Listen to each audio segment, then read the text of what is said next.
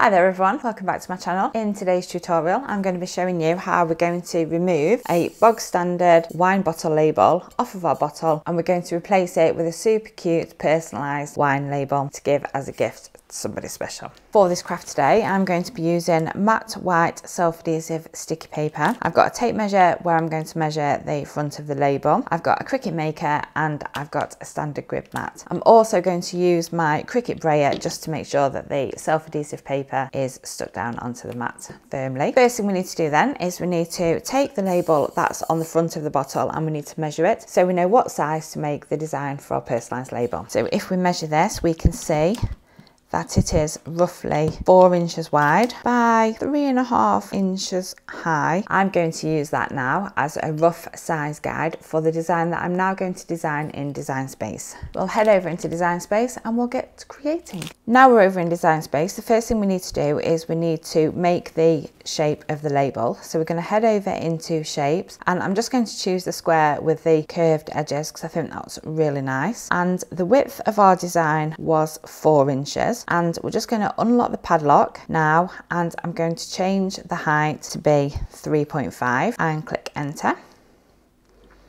and that's now going to replace the label that's on the front of our wine bottle. I'm going to change the colour of that to be white to help us see what we're going to put on our design. For this then, I'm going to apply some text at the front. These wine bottles are great for any occasion, but for this one, I'm going to make it for a teacher gift because it's coming up to the end of the school term. At the top of the wine bottle, I'm going to type in, thank you, and I'm just going to change the font of that. So to do that, we're going to head up to the font box, we're going to click on the little triangle, and that's going to bring us up this font box. And I'm going to choose a font that I've already purchased and is in my system. The font I'm going to use is BFC Tasty Trick. There we go, and that's going to say thank you. So we're just going to pop that on, and we're just going to shrink that down a little bit while we prepare the rest. I'm going to pop a design in the middle, so we're going to head over to Creative Fabrica, and now we're on their site, what we're going to use is we're going to go over to the freebie section, and if you click on free graphics, it will bring you up all the graphics that are free to use, and these are free to download to use on your projects, and I think it's a really good way of getting into crafting. So I scrolled through all of those, and I found a design that I liked, and I came across this boho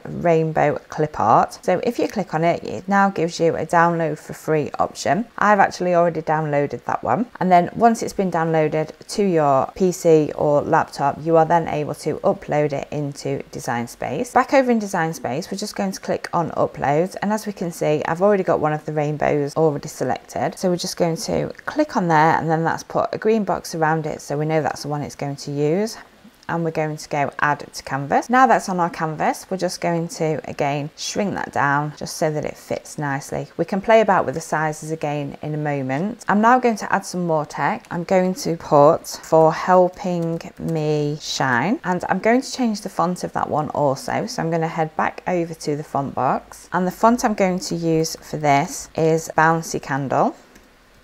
And there we go, that's chose that one. So again, we're going to shrink that down and that's going to allow us just to place that there for now. And for the final piece of text, I'm just going to write love Max. And again, I'm going to put a different font on this one. So I'm going to use Bright Candy and again we'll shrink that down. These are just fonts that I went through and I chose and I really like them. You can use any fonts of your choice that you really like using. I know a lot of crafters have their favourite fonts and now is the perfect time to be using those. So there we have our label. So now you can play around and alter the sizes accordingly so it fits nice in the space that you've got. When we've done that, as we can see now up here it says Operation Basic Cut. We don't want it to be a cut file at this moment we want it to be a print and cut file. So what I'm going to do is I'm going to select all of it and I'm going to flatten. And as we can see now in this side panel, once I've flattened it, it says that it's been flattened and it's changed it to a print and cut file. That is exactly what we want. Now we're ready to click on make it. And this is how it's going to look and this is how it's going to cut out. If your child has got multiple teachers, now would be the opportunity for you to duplicate that design and fill up your paper. I've just got to do the one, so we're now going to click on continue. Now going to ask us to send it to our printer. I've already loaded the self-adhesive paper into the printer, so I'm going to click on send to printer. That's now going to show me the design and it's telling me the printer that it's going to set it to. I don't want to add any bleed, so I'm going to turn the bleed off and I'm going to click print and that will now print out our label. So this is what the label is looking like at the moment. We can see the registrations lines that the Cricut is going to use in order to cut it out. We're just going to place that now onto our standard grip mat and I'm going to use my brayer just to make sure that it's stuck down really well because we don't want it to move during the cutting process. Now I'm just going to load that into the Cricut Ready Back in design space, we now just need to choose the material that we're going to be cutting. So I'm going to browse all material. I'm just going to type in here, washi, and click enter and it says washi sheet. So we're going to click on that one and select done. And as we can see now, it's selected it here I am going to make the pressure to be a little bit more, but I want it to only cut out the top layer and not the bottom layer. You need to use whichever setting works best for your Cricut and your material that you're using. Now we've set all the materials in pressure, we now just need to press the flashing Cricut button and start the cutting process.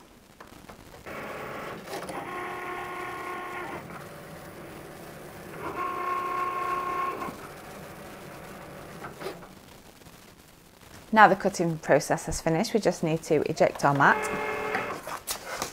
To remove the label, I like to flip the mat over and remove the material from the mat. This will prevent any curling. And as we can see, if we lift it here, this is where our design has been cut out and as we can see it's cut through the top layer but it hasn't cut through the bottom which was exactly what I wanted. Next thing we need to do is we need to decide whether we're going to stick that straight over the top of our label or if we're going to remove the label that's already on the bottom. I did make a video on how to remove the label from a wine bottle that I will link down below if you are interested in taking a look at that one. Once you have decided whether you are leaving the label on or removing it, it is time to stick your new personalised label onto the front of your wine bottle. I removed the label from the front of my wine bottle purely because I didn't want you to be able to see the label underneath but I do think it's important to leave the label on the back just so that whoever you're gifting the wine to can see all the information about the wine. Now I'm just going to peel off my personalised label that I've created and I'm going to lay down my wine bottle. I'm going to make like a taco and I'm just going to lay the label down in the middle. I'm just going to